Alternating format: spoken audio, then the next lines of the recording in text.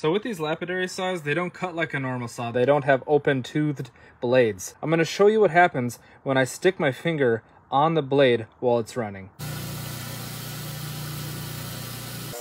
Oh. That's so bad. All jokes aside, it's a safe blade. Don't worry about it. It's just a hot dog. It's just a hot dog. Fun fact, it's really hard to draw on a hot dog with a Sharpie.